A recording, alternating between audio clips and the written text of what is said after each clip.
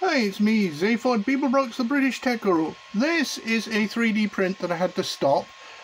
This bit has printed quite reasonably so far, but this bit has clearly shifted position. So that print is not very good. I'm, it's just junk.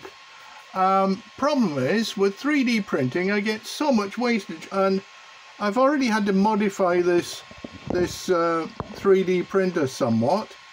Um, up here, oops, no you can't see that, Let me move up a little bit. Up here I had to put a little loop just to keep the uh, filament going through through the loop because otherwise this thing will just leap off the leap off the holder. Um, I had to give it some direction. And here I have to put this wet wipe box to stop this cable from getting looped around this end and jamming the thing. And that might be a particular problem for the Easy 3 printer, but I doubt it. Um, I see um, I've, I've tried different filament. That was the orange filament. That's not particularly good. Uh, this is the green filament and it's done quite reasonably but it's a little bit stringy. Um, that's not really that good. Now I've been through a couple of reels of filament. I started with some white and then I did some yellow. It does do some good things very occasionally. I can't remember what that's for. That was something I found on the Easy 3 website and it's printed it quite reasonably so quite pleased with that. Only thing is I got no earthly use for that and it printed that quite quite reasonably though again I've got no particular earthly use for it. It just looks good and I printed it.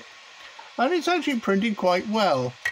Now the orange filament um, which I believe is actually provided by Easy 3 uh, produced by Easy 3 or sold definitely got their label on it um, that seems to fall apart um, now the other filament, I made a mistake and I got this stuff, um, which is um, TPU.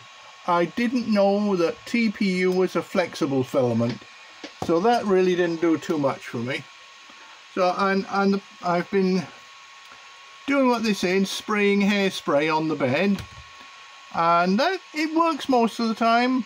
I've tried glue sticks as well. And That works too, most of the time, but not always.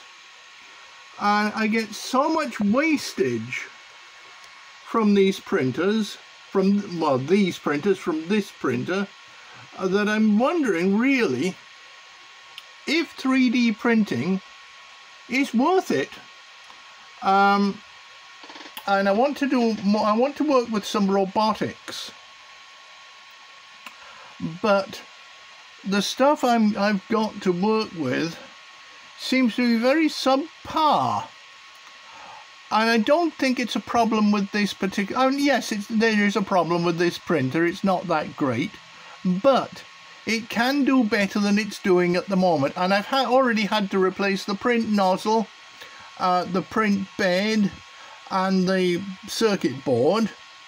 So obviously I, I can replace parts if I need to. The problem is I've had to replace the parts and I should never have had to do that on a printer that's less than a year old. Um, I did get a full refund for the printer after it uh, after the board blew up the first time. It's only blown up once.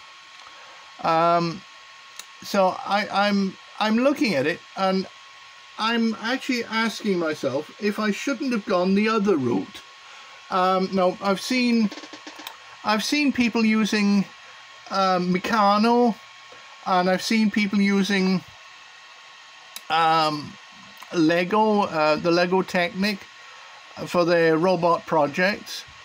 Um, and now I personally I, I, I like the Metal Meccano, but but the cog wheels for Metal Meccano are pretty expensive and the servos that I've got at the moment are pretty small.